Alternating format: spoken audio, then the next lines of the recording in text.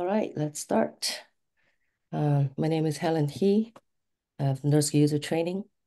Welcome to the OpenMP training series session six today, advanced OpenMP offload topics. Um, so as you know, we have had five sessions already. And today is session six, and there will be a final session on select and the remaining topics on October 28. You can find the links to slides, exercise, and recordings of previous sessions on our event webpage. And also the GitHub repo contains the exercise and slides uh, as well. Uh, we are really lucky to have our two true OpenMP experts, Michael and Christian, both of OpenMP language committee members among a, group of experts who routinely give technical talks and tutorials on OpenMP. They're both book authors as well. Um, I'll let the slide sit for another 15 seconds. If you um,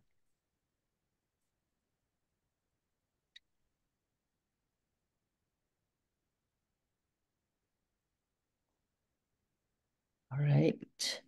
So logistics for today, everyone is muted. Please change your name to first name and last name. And um, this closed caption is turned on so you can toggle on and off. And you can also save and view uh, full transcripts. As you know, as you can see, we're recording this session. So feel free to unmute and ask questions. If you prefer not uh, to record your voice, you can type questions in the Slack channel. Um, Slack channel questions are preferred over Zoom chat because those are uh, um, saved, archived. Uh, we have uploaded slides for today onto the GitHub repo, and the ring, uh, recording will be available uh, in a few days later. The Slack channel, I'll post the Slack channel um, in the Zoom chat. If you haven't joined yet, please join the Slack. And we'll also provide a survey link to help, please answer the survey a quick survey to help us improve.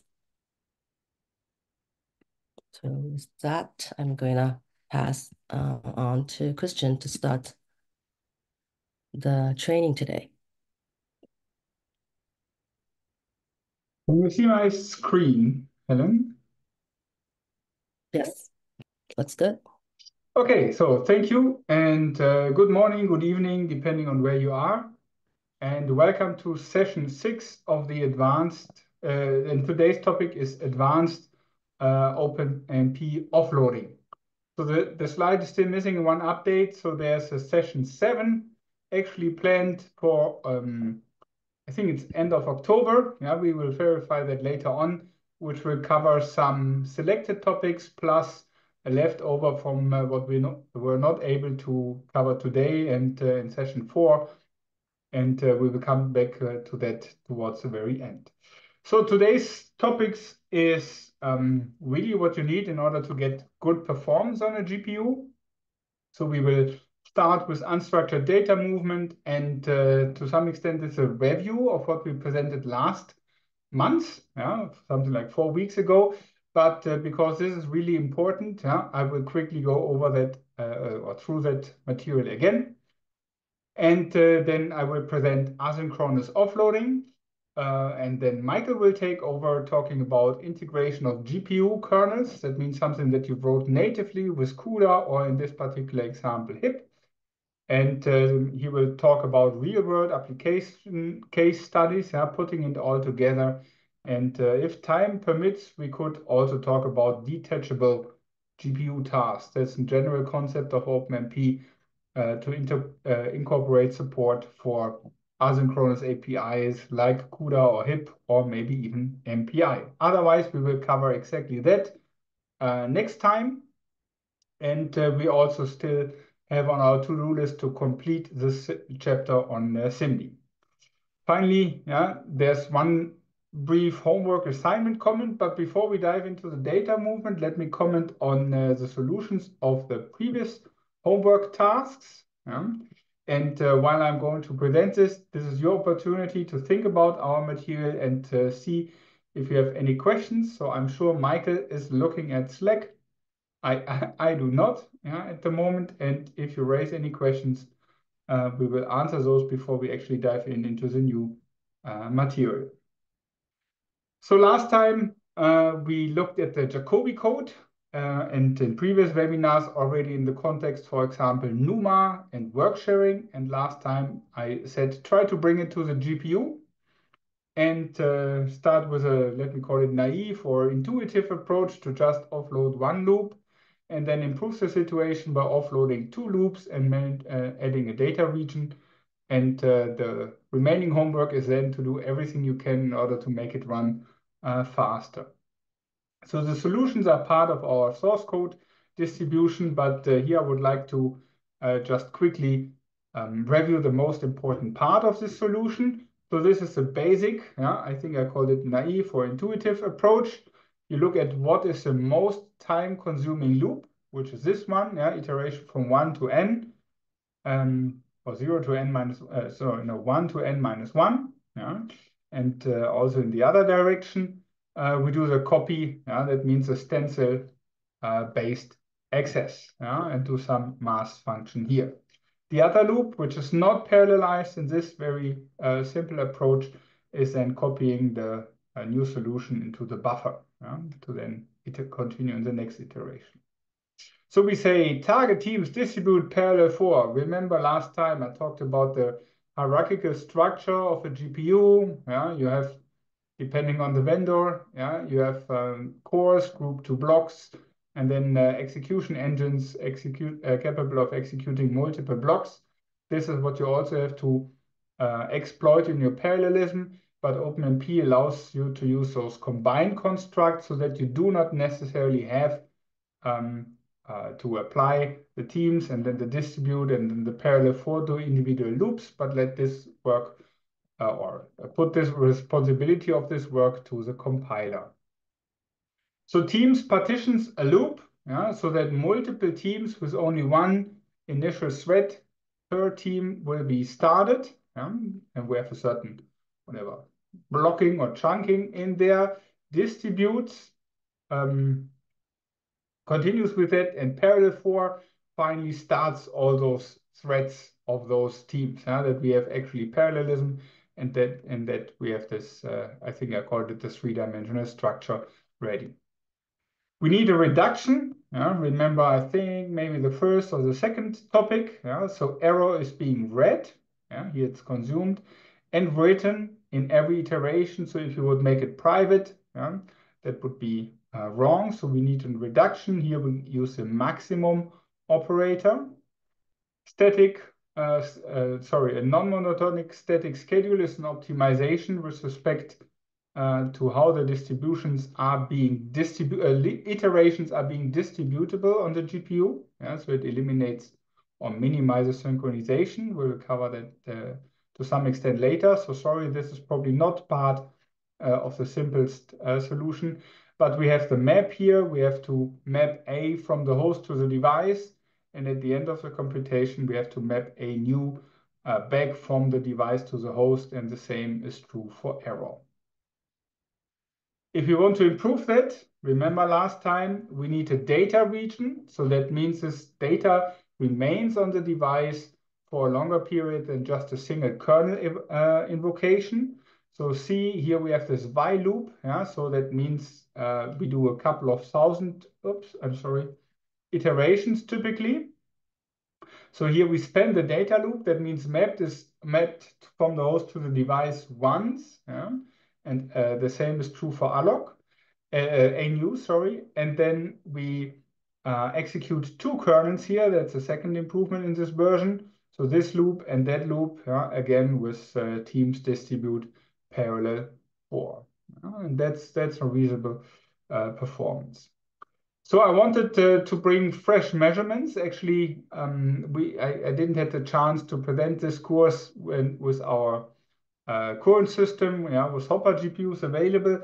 However, I was traveling and uh, didn't have access to our system nor any else. So I had to bring uh, performance numbers from an old system. Yeah, so don't compare that with your system. This is where do I find it? It's a Tesla V100. That's a Volta generation. After Volta, we had Ampere, and after Ampere, we have uh, what state of the art on uh, in NVIDIA, the Hopper architecture. So quite outdated. Yeah? So keep that in mind when comparing performance numbers. And uh, also you see this is from a few years ago, from 21, yeah, with some reasonably old Clang uh, on a CentOS 7 based uh, Linux. Yeah? So today you will get better results.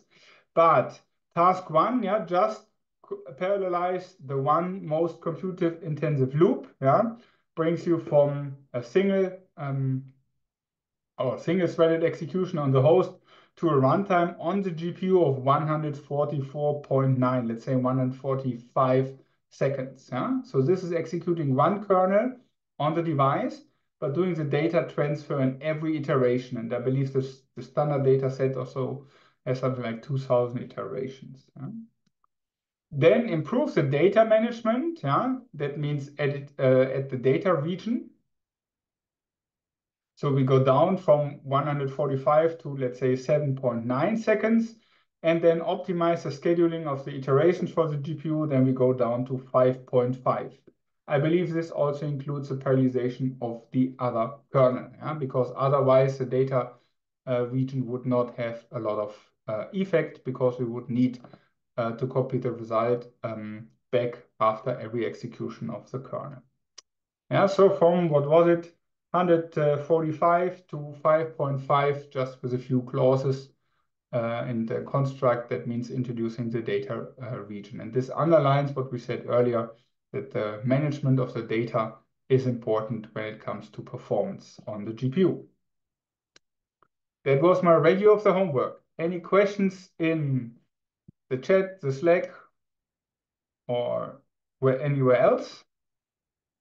I don't see it in the Zoom chat. Helen or Michael, can you give me an update regarding the Slack? I don't see any questions. Very good. Then let's begin with uh, today's topic. So 6.15, that means we're pretty good in time. Oops. Okay. Let me rearrange my window here so that I can actually see the screen. Okay. So as I said, let's uh, to some extent extend, but also quickly review um, the management of uh, data in the context of multiple target regions or multiple uh, kernel offloads. So the goal is to optimize um, the data sharing between host and the device and optimization. Optimizing that means to minimize the amount of data that has to be transferred. Yeah? So on that old system that I showed earlier, the GPUs were connected to the host with a PCI Express bus. Yeah? And although modern PCI Expresses are faster and they're even better connections, yeah, this is still, or this still can be a bottleneck, in particular in iterative uh, codes.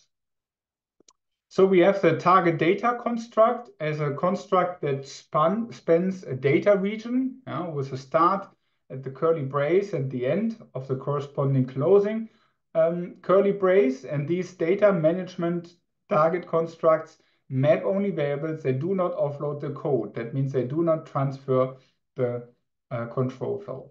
However, there are a couple of places where the target data construct is not flexible enough. Yeah? Think of a, a initialization routine that's meant to put some data onto a device and then the finisher or cleanup routine that's meant to get the results back.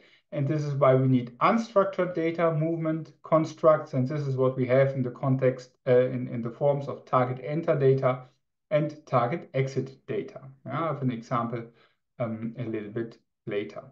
But the goal is that we can decoupling the creation, that means the lifespan of the target data region, yeah, with the actual places in the source code in which data is being mapped from the host to the device or mapped from the device back uh, to the host. Yeah, and uh, I hope now you can see my uh, laser pointer here.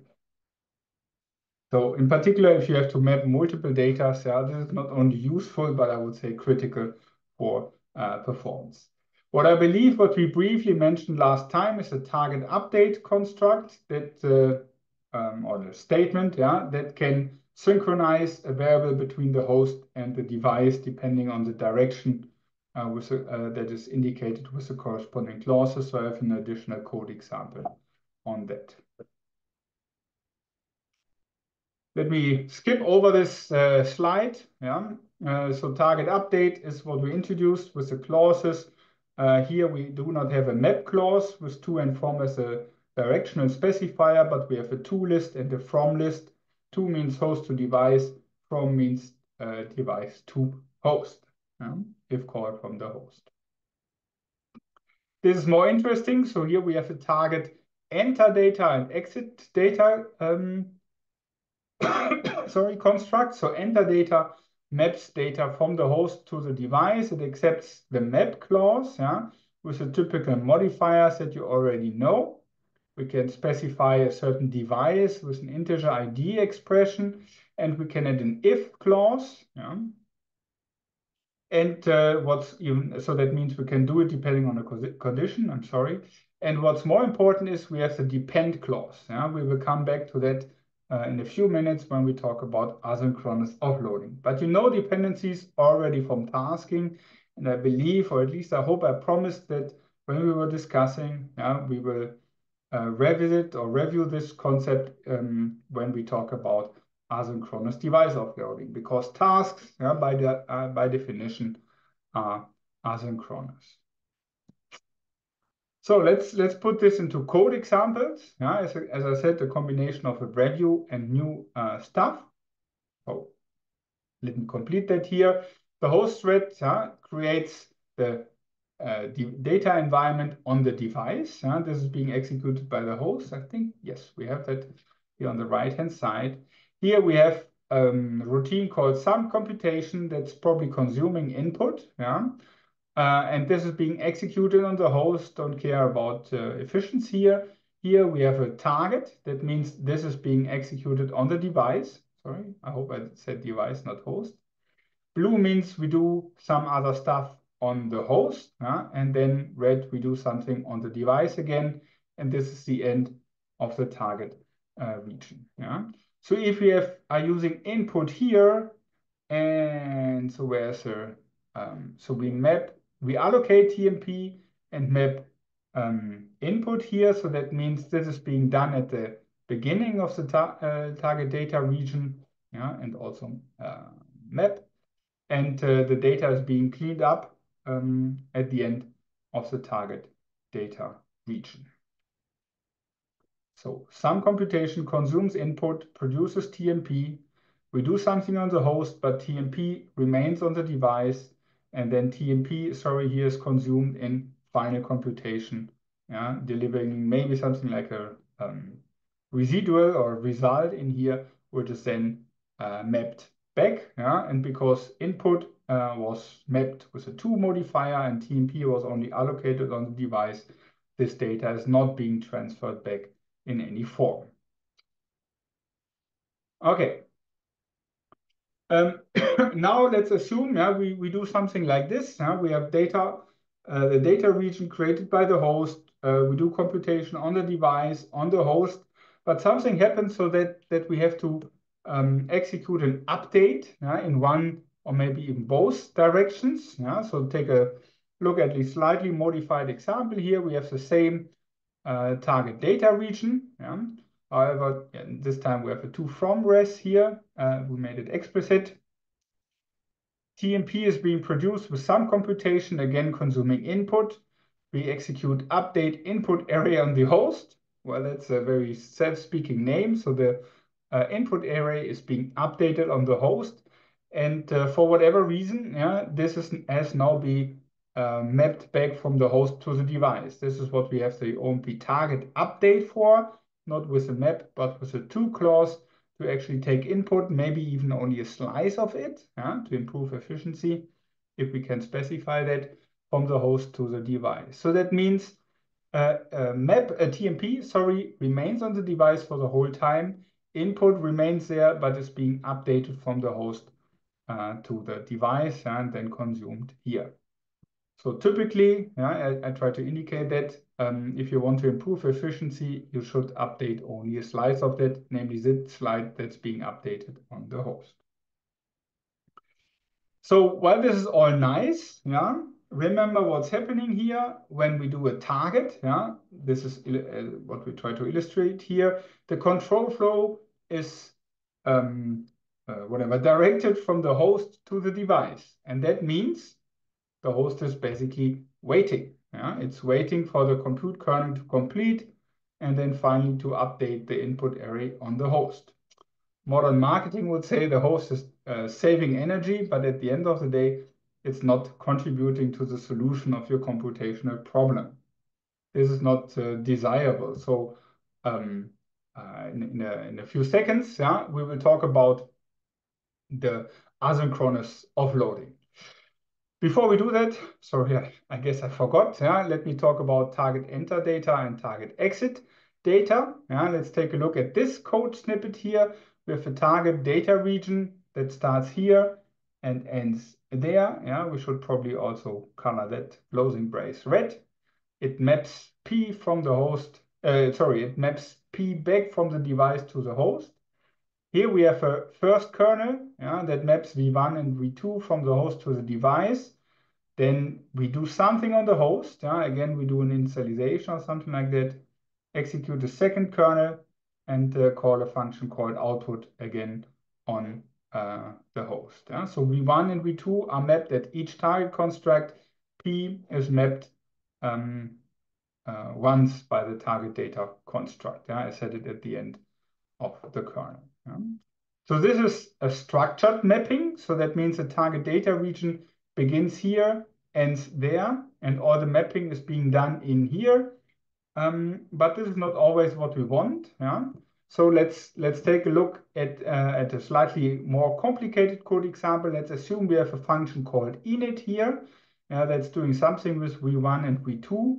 So if we want uh, um, within a yeah, vector multiplication uh, code in here, so if we want to make use of an existing code structure, and I think the best example are C++ uh, classes that contain a constructor and a destructor, where within a constructor we do some initialization of the data, and maybe in a destructor we um, gather results back from the device to the host. We need unstructured um, data construct. So that means the mapping yeah, has to take place outside of the target uh, data region and also of an actual kernel. Yeah? And that's the difference here. So here we have the pragma OMP target enter data as a uh, single line statement with a map clause that allocates P on the device. And here we have the pragma OMP target exit map single line statement that maps P back from the device to the uh, host. So this is being executed not at the beginning of the target uh, or uh, end of the target data structure, not when you actually launch a kernel, but then, yeah, when it's necessary in the, in the code, that means when this particular pragma um, appears here. Yeah.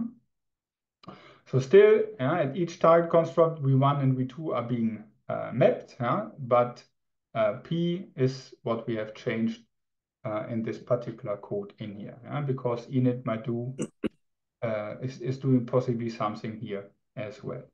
So target enter data, target exit data, um, implement unstructured data movement uh, in OpenMP. Can I ask a quick question? Yes, of course. So where's your declaration for P? Like you, you have alloc for the GPU, but there exists a P also on the host, right? Let me just see in this example. So we allocate uh, P on the on the device. Where's my declaration for that? That's somewhere else. That's a good point. So we have it here. Um, that's a declaration, yeah, in in as an argument, possibly in the vector mult function. So this is being allocated on the device, and I think last time I talked about the let's say to some extent clever runtime yeah so it maps this p yeah as a so it knows that this has an address on the host and on the device so that means within the kernel this p here is this p that has been allocated on the device Right. So, but you, just said there's a, a pointer also on the host for P. There's a P on the host and P on the GPU. on the Yes. device.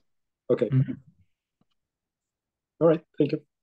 Yes, so, so there's a P on the host and there's a P on the device. And here, yeah, we take the device piece content, yeah, and put it pro probably, I don't know the implementation of output, yeah, but that could it, that could be it into the P on the host. That means here's a result being uh, made available on the host. Yeah, this is a target exit map.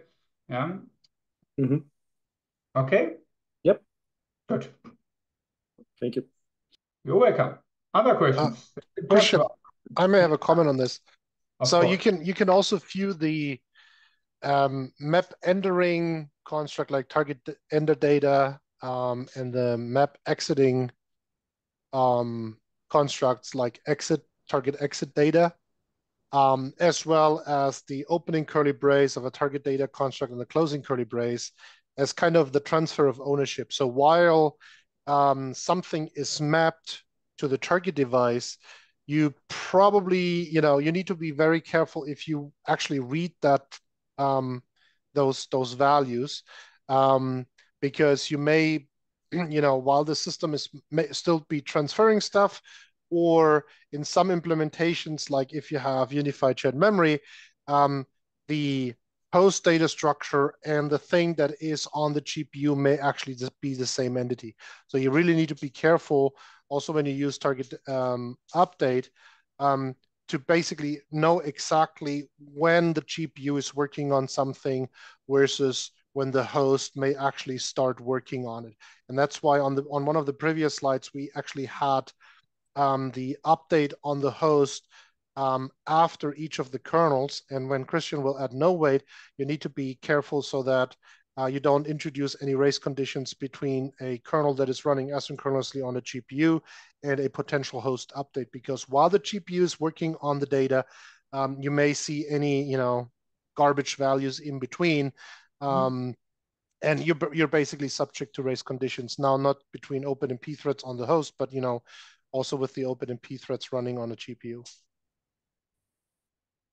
Yes, so Michael, that's um, thanks. That's a very important uh, remark. So I think last time I said, yeah, in OpenMP this is called map because it's not always a copy. Yeah? And I have to admit, in my explanations, I often explain data as being copied from the host to the device, yeah, because this is, and yeah, uh, on, on some machines uh, still the case, but it ha doesn't have to be. So thinking of this mapping as a transfer of ownership makes you compatible also with future and uh, to some extent also current GPU architectures. It's not always a copy. It's a mapping that means uh, we transfer the ownership also of this variable.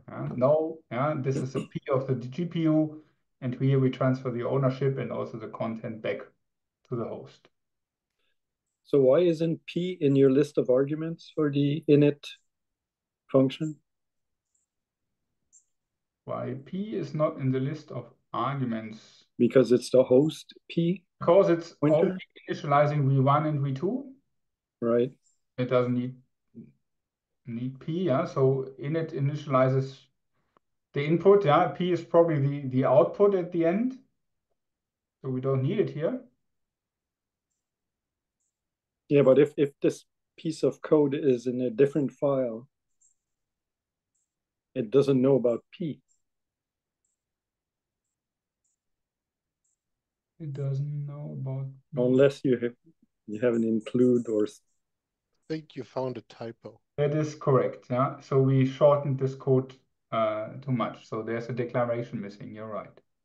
okay. Thank you. I think that was the first complaint, and we have shown this slide a couple of times. All right, just checking.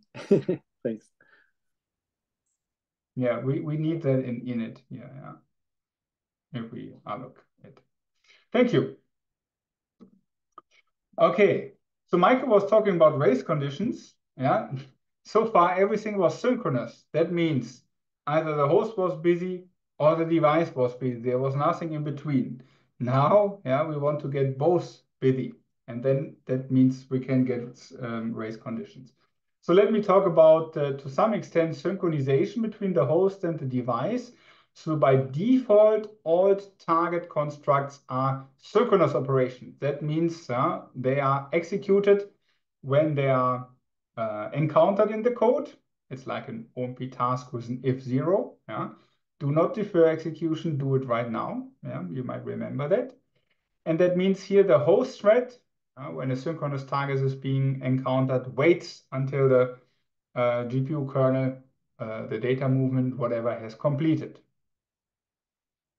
However, yeah, sometimes we do not want it. In particular, if you have multiple GPUs, um, let's say multi-socket, many core hosts, yeah, and uh, even though the GPUs are really expensive uh, nowadays, you you still also paid for the host. You should get those CPUs busy as well, and that means we might want to do um, asynchronous offloading. That means both asynchronous kernel execution and maybe even more important, asynchronous data transfer.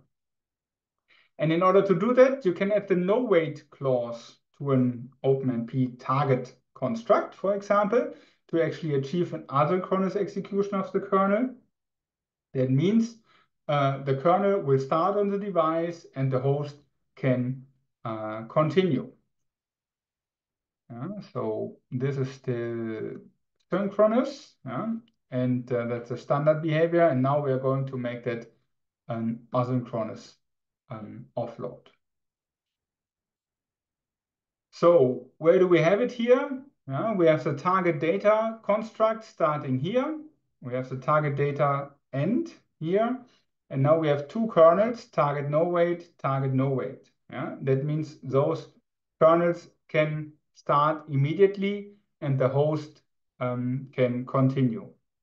Now, yeah, we, we still need some mechanisms, or we might need some mechanisms to actually bring some order uh, back to the chaos. And uh, in the context of OpenMP tasking, we learned about dependencies uh, that were modeled in a way to express the data flow so that we can actually ensure that certain tasks can only be executed uh, when other tasks have completed. Yeah? And we were explaining that with uh, data being produced and consumed, for example. This is a way of uh, uh, thinking. In OpenMP, we call that independencies and out uh, dependencies. Yeah. So simple things first, the nowait clause here put on a target construct specify that the encountering thread, that is a host thread, does not wait for the target region, yeah, this kernel to complete, yeah, but it will let me call it, pick this task up, send it to the GPU and continue. Do the same here, pick this up, send it to the GPU and continue. Here's the end of the target uh, data region. Yeah? And uh, so now we have to synchronize uh, that. So why is that important? Just a remark on, on, let's say, truly heterogeneous computing. So I believe that it's uh, important to utilize CPUs and GPUs uh, to the best possible extent. Yeah? Admittedly, this is often a challenge. So in particular, if you have a large workload, like here matrix vector multiplication, the CPU is computationally much more powerful. It might have limitations on what it can store in its fast memory and so, uh, so on. So load balancing between the CPU and the GPU constantly uh, is a challenge. Yeah? And the solution um, of how much work to put on a GPU and how much work to put on a CPU, unfortunately, always depends on the relative performance of the CPU and GPU, and in consequence also of the number of CPUs and number of GPUs in the uh, system. Yeah? So that's not trivial, but OpenMP at least gives you some means to express uh, what you have uh, in the code. Yeah. So asynchronous means the uh, operation is triggered and the control returns immediately. and this asynchronous um, support in OpenMP allows us to really make use of this heterogeneous computing as defined earlier. So this is a synchronous flow, yeah, really to make it sure the control flow is being transferred from the host to the GPU. Here it's idling and this is an asynchronous uh, control flow, so the GPU is active, but the CPU can continue uh, with compute. This is what you should always have in mind. Yeah? But you can also uh, make use of that to actually uh, utilize the bottleneck, yeah, be it the PCI or any other uh, link in between the host and the device to fully utilize it. So for in the case of PCI transfers, you can do asynchronous data movement in parallel or simultaneously from host to device and from the device back to the host. Yeah? So you have more than just a single data movement uh, active. If you like, you can even overlap uh, the transfer of data and the computation. Yeah? More, even more tricky, yeah? but even more important for uh, performance. So assume you have a large computational task in the sense that it's that the data can't be represented on the high bandwidth memory of the GPU. So you have to put it into chunks, uh, transfer chunks, and uh, then call the co uh, corresponding compute kernel.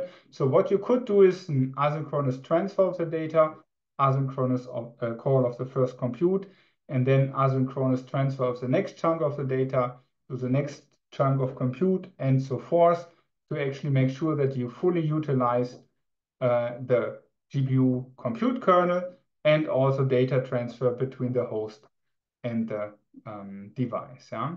And finally, if you have, uh, depending on your workload, you might want to execute multiple kernels, maybe of, uh, of a different uh, type on the GPU at the same time. This is also what you can do with asynchronous offloads. Yeah? That uh, depends, of course, uh, on how much resources an individual kernel invocation consumes. So much for the theory.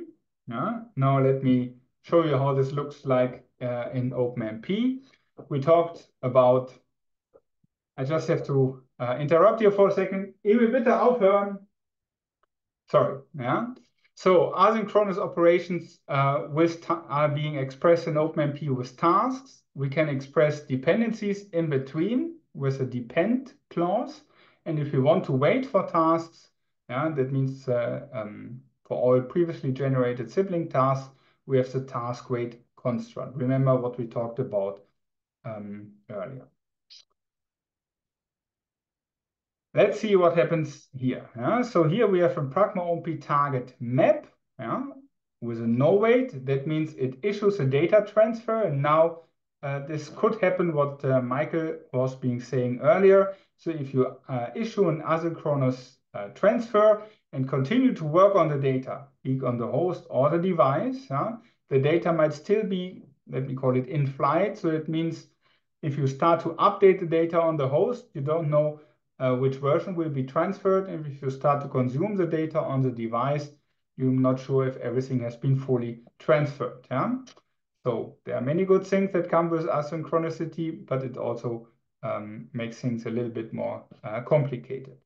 In order to order things, yeah, we can have out dependency. So that means when this target map, uh, asynchronous target map is completed, it can um, it provides the data. Yeah, here we make use of uh, GPU data as a maybe a dummy variable, maybe a real data variable. That means other tasks, yeah, depend on. Uh, oh, sorry, there's another task. So uh, here, yeah, this task depends on the GPU data, so it can only be issued yeah, um, after this one has been completed. Same for this. This is a task probably working on the host. Um, uh, it provides CPU data. This one consumes data. So here, this task can only um, start after the two previous tasks have completed. And this one will wait for all sibling tasks. And what I implicitly said and want to make explicit now is that you can mix and match the, dependencies between the host and the device. Yeah? This is really important. Let me look at, I think, only two more code examples. Yeah? So we have, again, uh, very fancy names. So we have an asynchronous vector multiplication. Yeah? That's the idea here. We have a target uh, region somewhere outside. So we say target enter data. We allocate V1 and uh, V2. We do a compute V1, V2 yeah, with a, a, target on the device, asynchronous. So that means the host um, uh, continues immediately after the compute kernel has been uh, started. but this one produces V1 and V2. This is an uh, OpenMP task, so it does something on the host. Yeah. Uh, and here we have to assume that it does not involve V1 and V2, yeah, because this is now being uh, induced by another task. Here we have uh, another target map. Yeah, let me see it with a nowait. Uh, so this depends on V1 and V2. So sorry, a target region yeah, with maps P from the host uh, from the device to the host at the very end. But this one depends uh, because it wants to consume V1 and V2 on the completion of this uh, kernel here. Uh, so that means we're reading V1 and V2, and this taskwait will wait for all um, uh, uh, previously generated tasks, and we at the end release the data. That means destroy the environment, data environment on the device. So we can mix and match execution on the device and on the host. We can express dependencies where data is being produced and then uh, consumed. Yeah? And I was just uh, confused with the curly braces. This means the target applies to just, uh, or the target kernel consists of just here the compute function, but of course we can have curly braces specifying, uh, let's say, the code of the target uh, kernel in yeah, inline. Uh, finally, yeah, this is a little bit um, um, slightly more complicated now, adding uh, the target update, yeah, which can also uh, be used with a depend clause. So this is um, this has been upgraded in a later version of an OpenMP specification to be potentially also an asynchronous task. So what did we add here? We update um, V1 and V2 um, when as soon as V1 and V2 have been provided. Yeah, that means when this task provides V1 and V2, this one will update it uh, from the device to the host, yeah, to the update on the host. This is a task yeah, that depends again yeah, on V1 and V2. So why in and out? This one depends yeah, on those being provided and also provides them.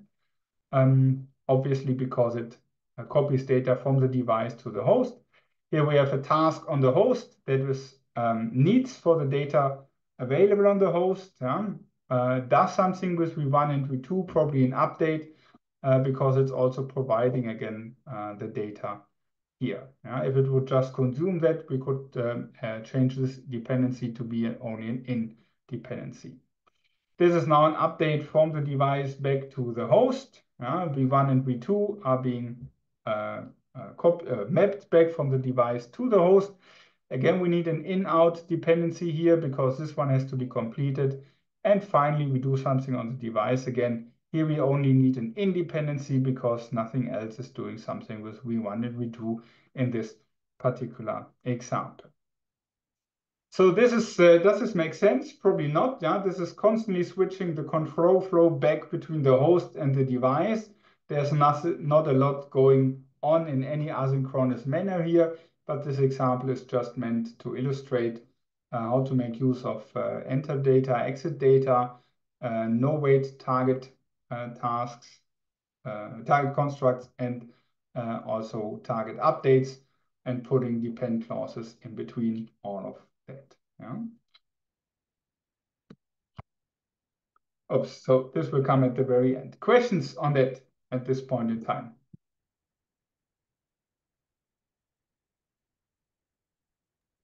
So there was only one question that I already answered in Slack, and that was um, you haven't been showing device clauses for most of the constructs. And so um, if you don't have a device clause, OpenMP picks a default device. Right. And that is, um, you know, one of the GPUs um, that has um, ID zero. So that is a number that OpenMP gives you. Uh, but there's a device clause. Uh, I think you've seen traces in the syntax slides at some point where you can give a device ID. So you can, each of the directives that Christian was showing basically also allows you to specifically target a device numbered from zero to n minus one, with n being the number of GPUs that you have in the system, so that you can control if you have multiple uh, data allocations going, which device you want to target. And there's also, if you still want to use the default device without the device clauses, then you can use environment variables or um, an API routine that I put in the chat um, to basically set um, the default device if you desire that it's not supposed to be zero. That was just um, for the recording, the answer that I gave in Slack. Very good, Mike. All right, Thank and with you. that, I think I'm up anyways, right? Yes. Yes, you are up.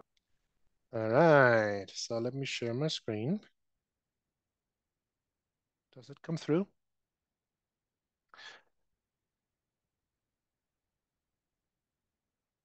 All right, so um, hybrid programming. So what do I mean by this? Um, so the idea, am I sharing this the right screen? Yes. Hybrid okay. programming.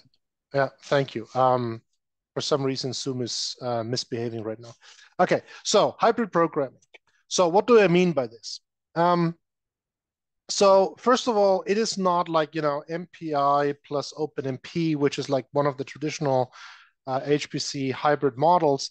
This is really like um, merge using another language, uh, a low-level language in this uh, specific example, uh, for GPU programming and how that may interact with the OpenMP API. So for instance, you know, um, using HIP, this, this, this will be the, the main example for, the, for my slides going forward, but this works also with CUDA, OpenCL, uh, SYCL, and potentially other um, programming languages, uh, low-level programming languages, um, and also um, library invocations like you know calling into a BLAS routine that is supplied um, by the HipBLAS or rocBLAS libraries or cuBLAS or um, you know any other uh, GPU-enabled um, library. And so what OpenMP helps you with are these two indirections that I'm going to show in this slide deck. There are more, but they are like you know more like corner cases for very specific um, applications or uh, programming exercises. So the first one is how you can call a low-level kernel from OpenMP application code. And to me, that is kind of the main use case. Um, so think of um, your application being written in OpenMP for host, and then you start using OpenMP for using your GPU. And then you basically recognize via, you know, so say via a performance tool that for some reason the OpenMP compiler is not providing you the performance that you desire, or that there is a specific low level feature of your GPU, think of, you know, um, matrix units or tensor units uh, that OpenMP uh, doesn't provide you access with and the compiler doesn't automatically um, leverage those. So in those cases, you may want to, you know, write a specific kernel using a low level language so that you can exploit this additional features or get to the performance that you, that you desire. The other use case that works equally well is calling OpenMP kernels from low level application code um, so this is, you have written your application in say HIP as the main programming model to interact with, with uh, GPUs. And now you either want to develop new code using OpenMP, or you want to achieve more portability by um, you know, migrating a specific HIP kernel back to OpenMP, but keeping the rest of the application code as it is. All right, so let me show you um, an example how, how this may look like. So the first thing, you know, I'm, I'm going to stay with a very simple example like SAXPY. Um, so here, you know, this is like, you know, a, a bunch of mockup code. So pretty much we do target data map, uh, you know, all the mapping that, that Christian was talking about. Then we have two compute kernels, one and two, that somehow update X and Y on the GPU. And then we want to compute SAXPY and then do a third kernel uh, um, computing on the result. And like you've seen before, you know, the SAXPY code would look like uh, roughly like this with target teams distribute parallel for SIMD inside to parallelize the SAXPY loop or, you know, and any other flavor of uh, parallel loops on the GPU. You could also um, write pragma omp target teams loop, for instance, if you want to um, give the compiler more freedom. And now let's just assume for a second um, that um, we want to rewrite this function in a low-level language like HIP. Um, quite honestly, for SAXPY and these kind of things, uh, there is no specific need because the compiler will actually pretty much figure out how to map this ideally to a GPU. But let's say the kernel is more complicated, potentially involves you know some um, low-level barrier or synchronization code, and so you have a, a certain need to rewrite that in your in your low-level language. All right, so let me first show you how that thing would look like as a HIP kernel. So there's two two pieces to this. So there's this double under global double under void SAXPY kernel. So that is the, the kernel code that receives um, pretty much the same arguments as before. So the size, uh, this, the, the scalar and the two um, vectors.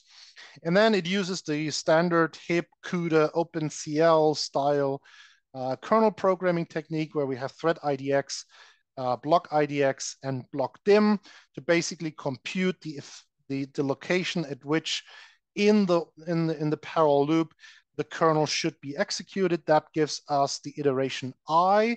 And so, you know, all instances of this kernel then correspond to the full loop execution. Pretty much what you know um, from, from your past CUDA and HIP experience. All right, and you know, I'm using just the dot .x notation because this is a one, di one dimensional kernel. The second part is the SAXPY HIP um, function call. So the double under global kernel function was compiled for the GPU. And the second function, SAXPY underscore HIP, is now compiled for the host. And it uses the triple chevron syntax to invoke the kernel, the SAXPY kernel on the GPU. And so what it does is it basically goes in and, um, you know, distributes this into uh, n divided by 256 number of blocks, right? The block dimension is 256. And so you basically now have like 256 threads per block, and you have as many blocks um, as we can fit the 256 into that, into that um, n variable um, of iterations. Um, for this, for sake of simplicity and to avoid, you know, some some additional tuning stunts, I also assume that 256 evenly divides n, so that I don't have to, to do any remainder handling or any any tricks of that sort, um, so that the kernel can stay nice and clean. But I guess you get the point, right? Now, the difficulty is that these things are device pointers. And so when you listen to what Christian was saying, um, when we call an OpenMP kernel, um, we basically just pass the host pointer into that, into that kernel. And then OpenMP does the magic under the hood to basically make sure that it somehow knows for the kernel invocation, what are the actual buffers that you have mapped using target data constructs, target enter data, target exit data constructs, and so forth, um, so that the connection between the host data and the kernel data or the GPU data is, is maintained. All right, so basically that means we need to find a way how we can translate the host pointer that was mapped by OpenMP directives, um, and how we can, uh, from that, retrieve the associated device pointer. Let me make this a little more clearer to give you a, a, an example that's hopefully clearing things up. So under the hood, what OpenMP does is called pointer translation. So when you create um, a data environment on the device, OpenMP automatically creates and maintains a mapping between the memory pointer on the host. So if you launch your debugger and you inspect the variable A, that is your array, uh, you'll see some pointer, or in this case, I'm using X on my slides. Um, so you'll see X is pointing to A, B, C, D as one of the potential addresses um, in your process space. And then when you do something like this, pragma om target map to of this um, entity X, and here I'm having a crude mix of C, C++ syntax and Fortran syntax, uh, kind of split brain between the two worlds.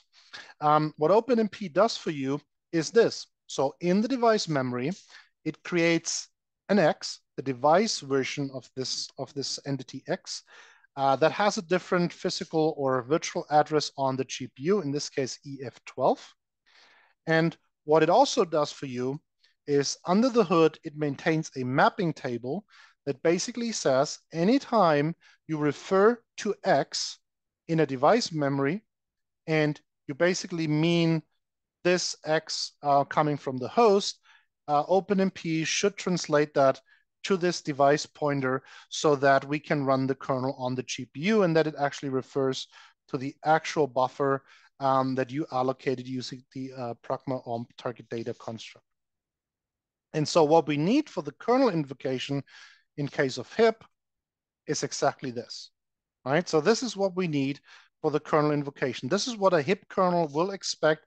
It doesn't care about where this thing is coming from, right? It only it only cares about you know the actual address of the data block that you want to work on as part of the kernel invocation on the on the GPU device.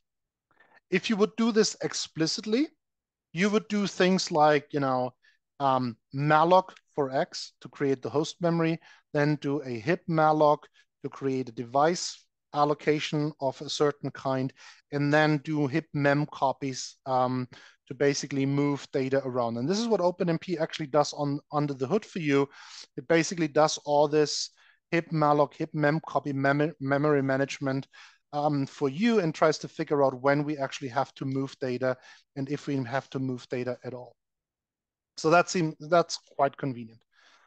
all right, so we need the device pointer and we need a way to um, tell OpenMP that when we when that we want this this special value and that we don't for for a specific uh, piece of code that we don't care about the host pointer but we care about the device pointer that is behind a variable like x all right so the way to do this is in OpenMP there is the use device PTR clause um, which can stick at a target data construct so what we can do is say we somehow allocate this x at the same address as on the previous slide, ABCD, and then we do pragma target use device PTR on x. What now happens is that OpenMP goes in, looks up the actual value of x, so that is ABCD. It goes into the mapping table. In that mapping table, it looks up the corresponding device address or the device pointer and substitutes in in between the opening curly brace and the closing curly brace, it swaps out the original value of x and it swaps in the device value or the device pointer value um, of that variable. And so inside these curly braces, you're no longer referring to the host entity, but you actually have the device pointer. So that means if example func, in my case, is a regular function that is running on the host, it will likely blow up and will not work correctly because what you passed in as a pointer has no valid interpretation in host memory anymore. If it has, it's likely not going to point to the right location that you think it would be pointing to. It's a device pointer in between those curly braces. All right. Um, however, if example func is a host function that just takes x and passes it on to a HIP kernel, you'll be fine because the HIP kernel will look at this, um, the value that you pass in as a function argument to the kernel. It will interpret that as a device address. And because it's a device address, um, it can dereference it, it can interpret um, that value, and it will have a correct interpretation as a memory location on the GPU. So if you think about this, you can think of, you know, when you do the device, uh, use device PTR uh, translation mechanism that inside the curly braces, the pointer variable, the original x, is shadowed by a new x that now contains the device pointer instead of the host pointer. Now, if you put this together, it will look like this, right? So we have the allocate device memory again. Um, so, you know, I retain the original map and uh, map to from clauses. Um, and then I added, um, I replaced the original SAXPY implementation that used to call the OpenMP kernel with this uh, kernel uh, with the host trampoline function that contains the triple chevron syntax and then in turn invokes the GPU kernel. What I also added on this slide is this additional target data construct that I was showing on the previous slide that basically says translate X and Y from the host pointers to the corresponding device pointers. And to illustrate the effect and the values that you observe when you look at those variables, say in a debugger, um, I basically, you know, re reuse the same ABCD values that I was already using on previous slides. And so let's assume for X that we allocated that at the same known address ABCD. So anytime from the allocation up here to this point here, when you inspect X, it will have the value ABCD. And what OpenMP does once it did the data mapping for this map clause up here, it will has it, it, has a mapping table that has an entry for X that basically says the host address ABCD is mapped to EX12 on the target device. And when you look at X, like I said, it will contain ABCD. And a similar argument you can make, of course, with different addresses for Y, but I'm, I'm I, I don't want to bore you uh, too much. Now, when we target, when we hit the target data with the use device PTR X clause, the mapping table will still contain the same information. That doesn't change, right? OpenMP will still maintain the information that variable X is a mapping from ABCD, the host version, the original host version of that variable, and EF12, the corresponding device version of that variable. But when you inspect um, the actual value of the X variable down here, you will recognize that it is um, printing EF12 in the debugger, or you know, if you do printf on the variable as a pointer, uh, you will recognize that the, the variable has changed. And now this is now a device pointer that uh, the HIP kernel can successfully uh, dereference and execute uh, the kernel code using those, um, those data areas. All right, quick check. Are there any questions? I don't see any in Slack. And I don't see any in the meeting chat. All right, so. There was a question, and I think that the person deleted it. I think he got answer from your presentation. that's that's that's good. If there are more questions, please uh, don't hesitate and, and uh, type them into Slack. But if you want to interpret, the question was about why do you want to use OpenMP with other languages such as CUDA together? Are there any example cases? Um, yes. Um, so like I said, um, so one of the things um, that that I mean, compilers are are trying hard uh, to produce the best possible code, but sometimes they just don't see the pattern that you as the programmer had in mind um, when you tried uh, when you when you implemented a certain piece of code, right?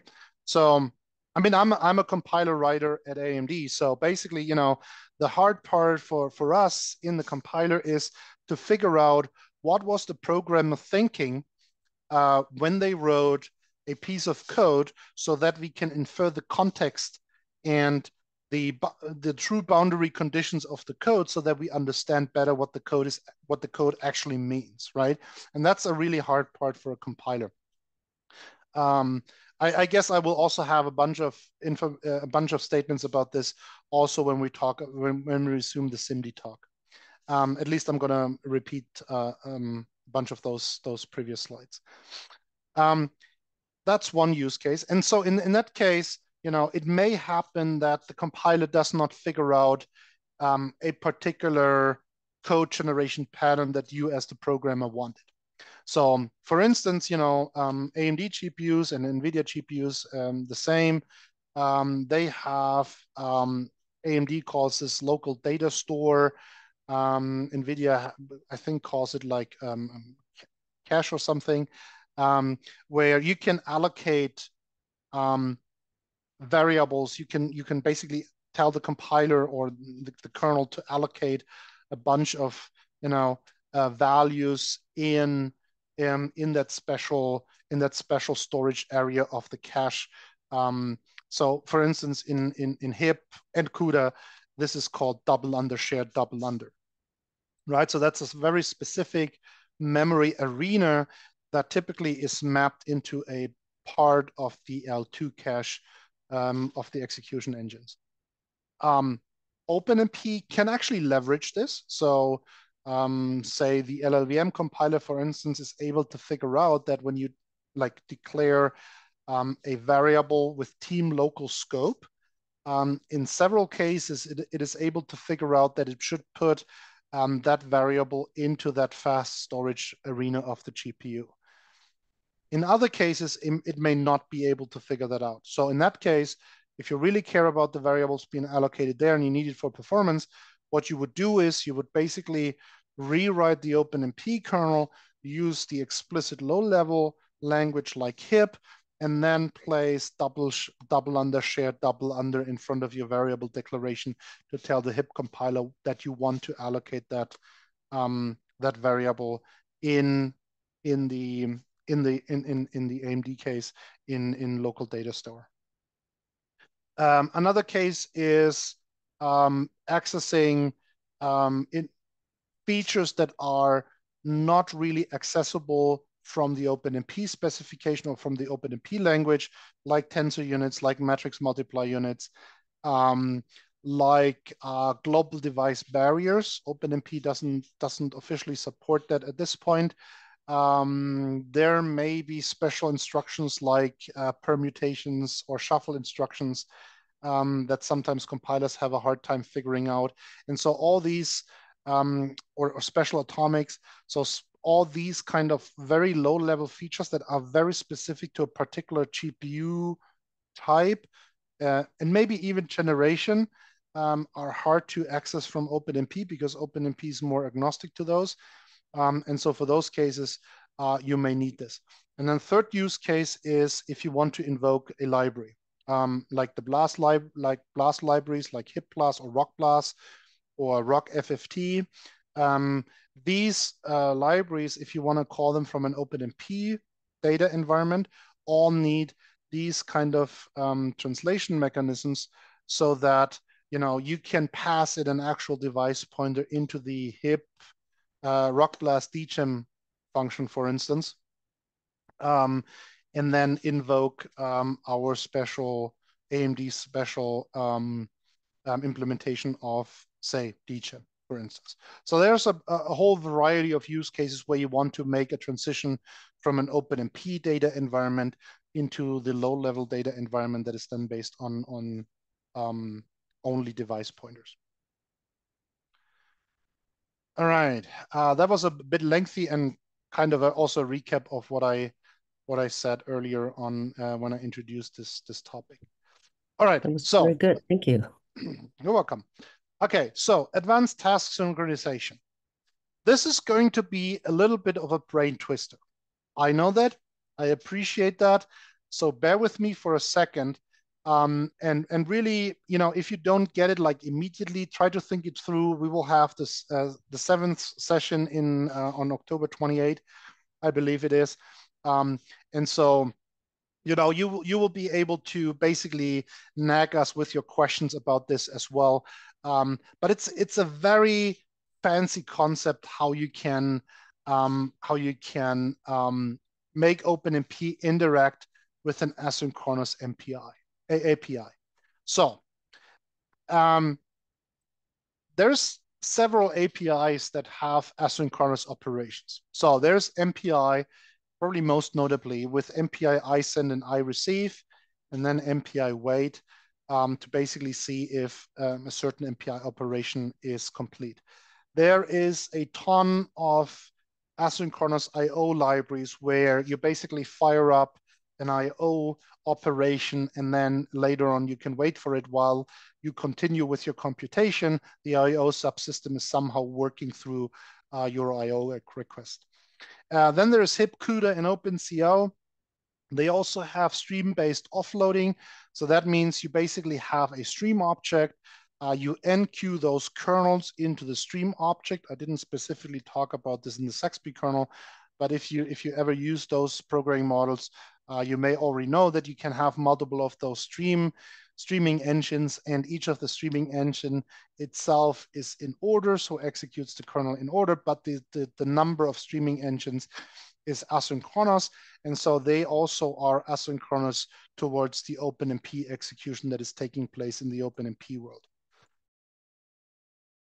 So in general, um, you know, any OpenMP API or programming model that executed executes asynchronously with OpenMP is kind of part of this of this asynchronous API interaction that I'm going to talk about. And so let me show you um, an example with HIP memory transfers. So say I have three functions. So do something, do something else, and do some other important stuff. Um, so, you know, this is really a, a contrived mock-up example uh, with no real purpose. And so let's say in between those do something um, operations, what you want to do is you want to bring back some memcopy operation um, from the device to the host. So basically you want to move memory uh, from the GPU back to host memory. And so what you do so that you can, you know, uh, keep the uh, DMA engine and hardware busy while you do something else. You basically fire up a memcopy async, and then at some point when you do, um, you want to execute do other important stuff on the memory that you brought back from the GPU, you have to put in a hip stream synchronize to make sure that the memory operation actually completed before you continue on the host. And let's also assume for a second that we see that there's more parallelism, especially between do something and do something else. You may want to wrap those in OpenMP tasks so that you can exploit multiple cores um, in your system. And so the question is that everything boils down to, how can we synchronize completion events? So we have a completion event here. Um, oh, well, basically the completion event is, event is somewhere down here uh, when this operation actually finishes. But the hip stream synchronize basically detects or is the way for you to detect um, that completion event. So the question is, how can we synchronize open exec OpenMP execution with the completion events occurring in this other asynchronous world of, of HIP?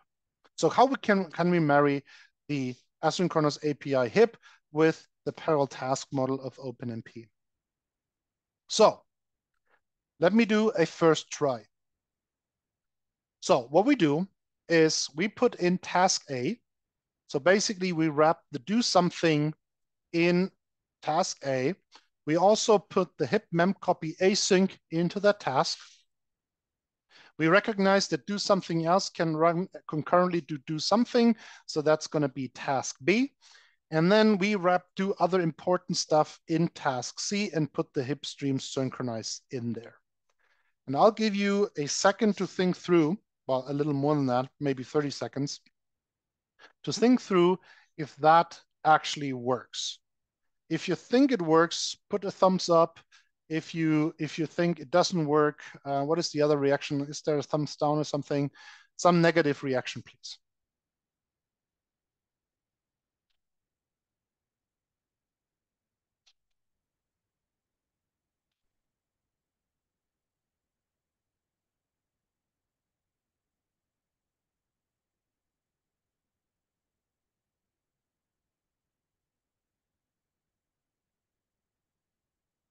Can also, of course, speak up, unmute and speak up if you think you see the problem.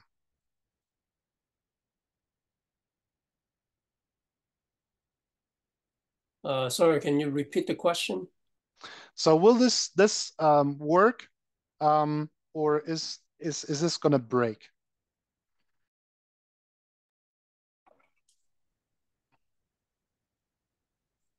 Hmm if task A and task C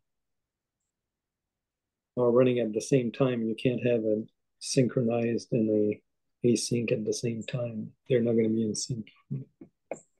I think you, you got it, yes. So the problem is you have a race condition between task A and C. So B, you can you can pretty much ignore, that's safe. Um, but basically, you know, task C may start executing before task A enqueues the memory transfer.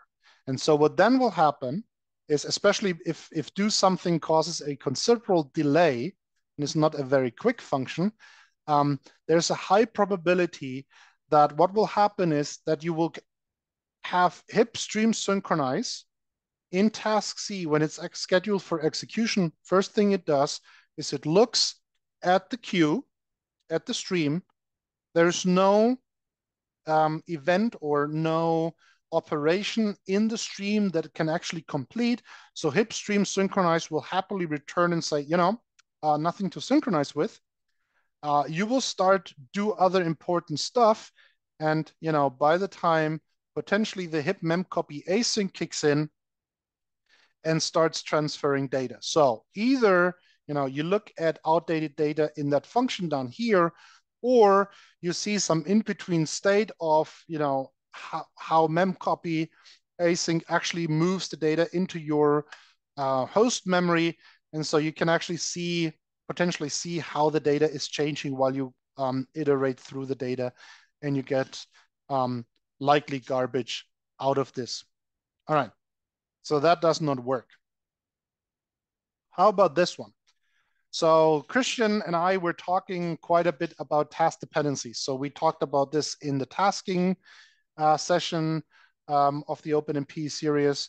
Um, and he also repeated that same concept in the in the context of uh, target nowait. So basically what we do here is we basically have a task A, again, that does something. It also does the hip mem copy async, but now what we do is we have an output dependency on the stream object or you know some other variable. I'm just using the stream object because I have it in hand. Um, and we have this um, input dependency on task C. So what now will happen is we now will make sure that task C does not execute before task A is actually compute, is, is actually done um, computing. Will that work?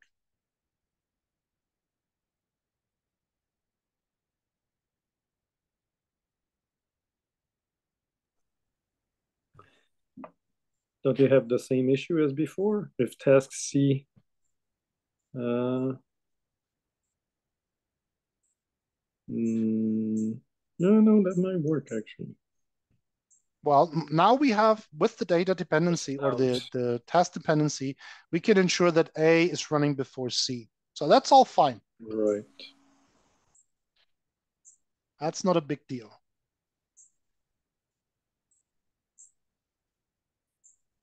So that seems fine. Does But- C wait for B? Um, C doesn't have, no, B is completely disconnected. It doesn't have a task dependency. So it can be scheduled at any time. In relation to those three tasks or the two A and B, A and C tasks, B can run anytime. It's uh, completely disconnected. It's completely um, independent. So there's there's a um, comment in the in the meeting chat that says issues with load balancing, maybe. You're probably right. And I, I'll, I'll take it as the right answer. So this actually works, right? So we know that um, task C will not start executing before do something is complete, the first step of task A. And task A will not be completed before the hip mem copy async is actually in the stream and executing um, or scheduled for execution via the stream, I should say. Um, and task C will only start executing once task A has completed. So that's all cool. The problem is more that while the hip mem copy async is running, the hip stream synchronize will block task C and will not release the thread that this task is exec executing on.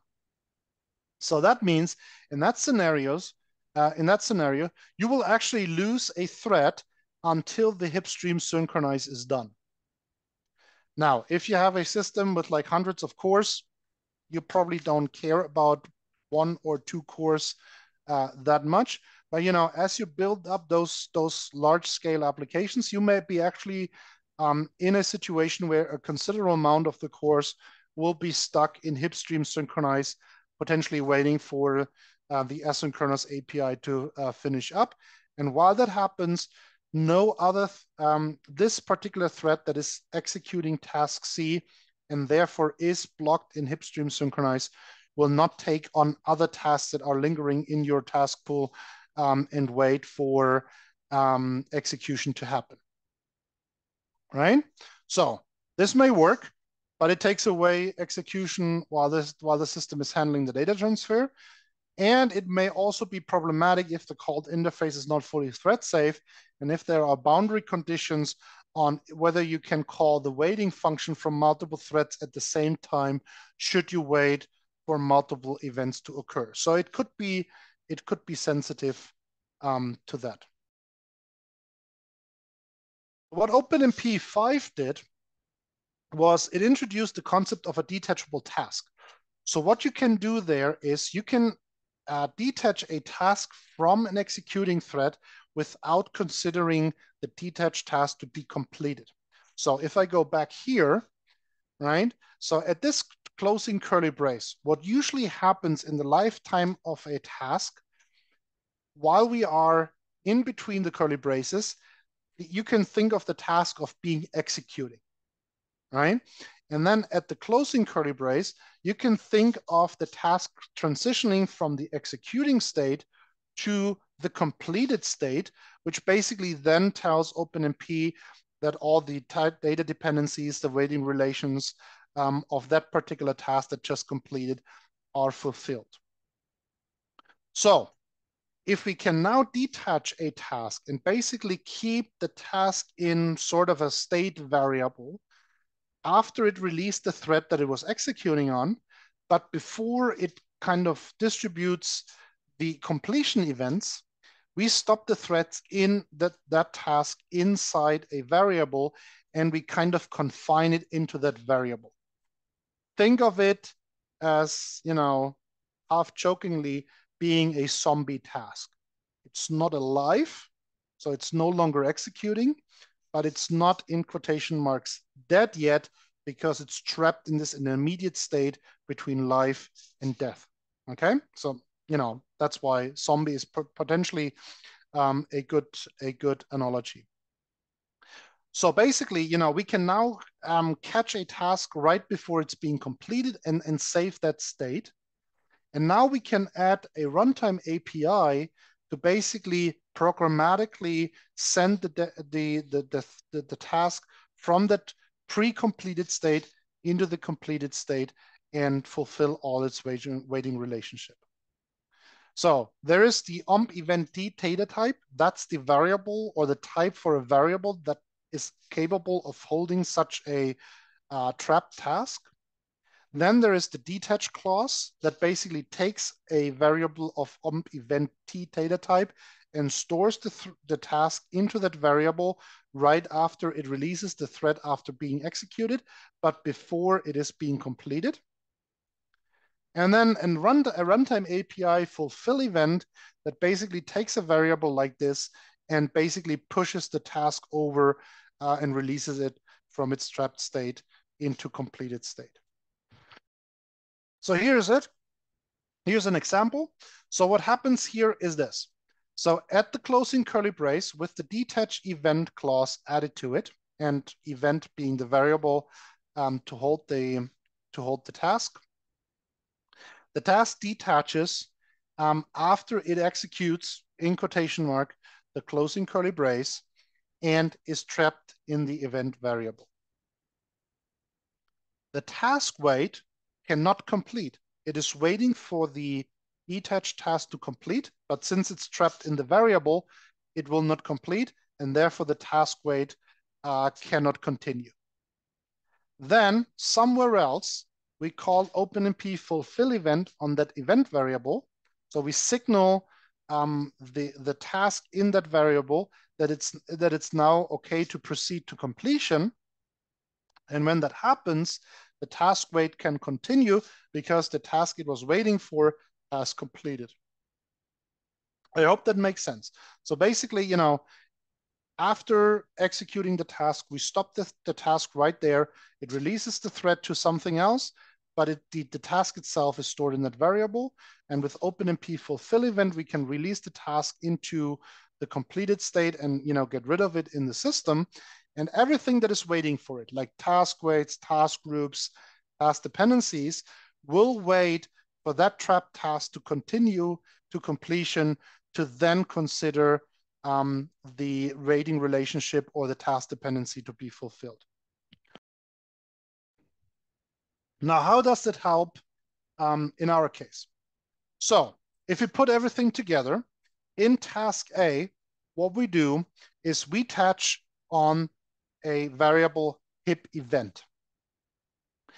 In task A, what we also do is we put in hipstream at callback um, and basically put in a callback uh, function that is triggered whenever the memcopy async is done. So basically we remove the hipstream synchronized down here and we replace it by hipstream at callback.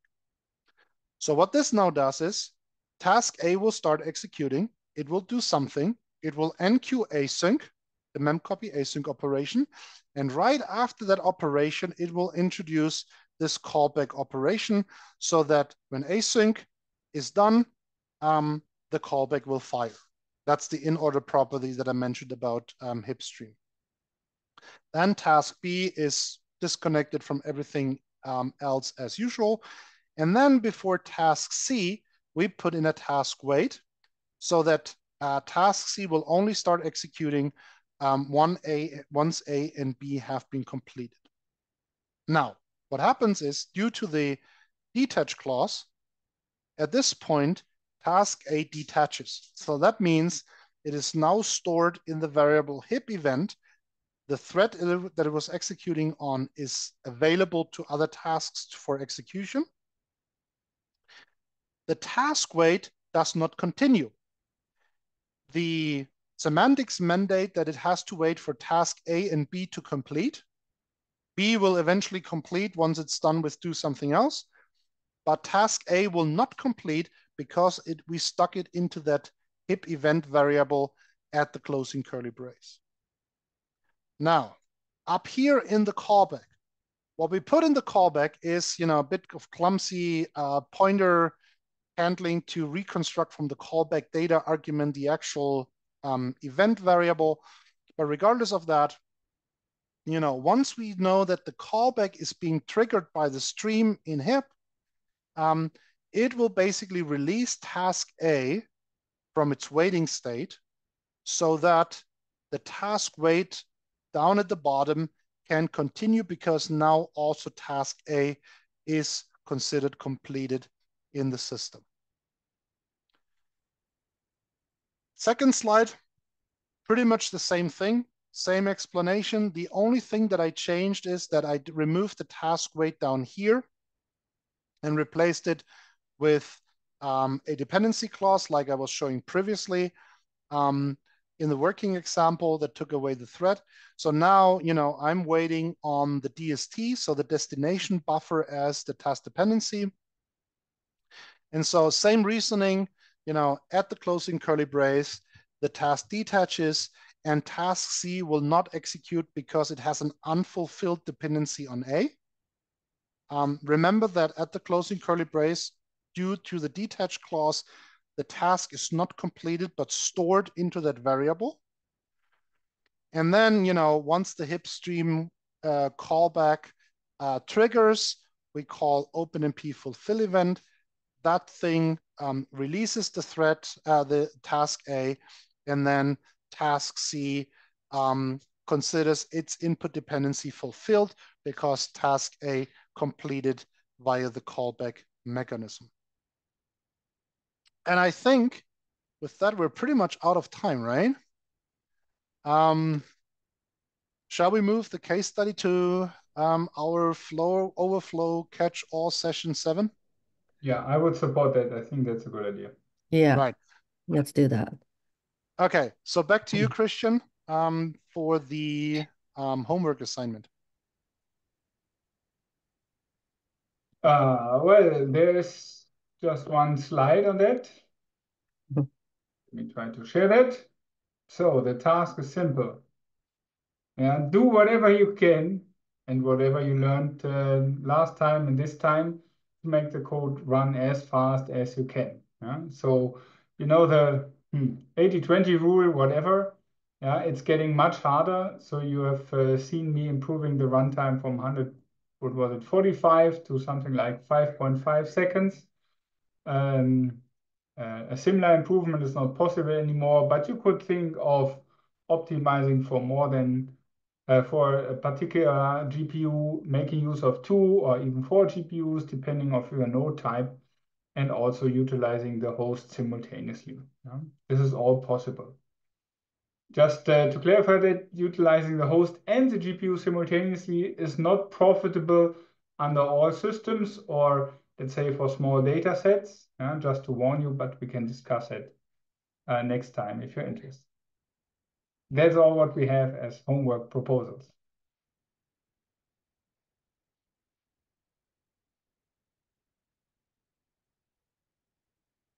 Helen, with that, I think we're, we're done. Shall we hand over, uh, hand back to you? Yeah, sure. Thanks, everyone. Um, let's thank uh, Christian and Michael for the wonderful presentations. Hope you learned a lot today. And uh, as usual, I've uh, put um, survey link in the chat. I'll remind you in the Slack channel as well. And also feel free to continue ask questions in Slack channel. And see you in the in the three in three weeks for the last session. Uh, we will let you know the topics. I think we'll uh, share the topics in the Slack channel and also probably update the the event page if there because we have some leftover from previous sessions. We want to put that in the topics list. That's correct.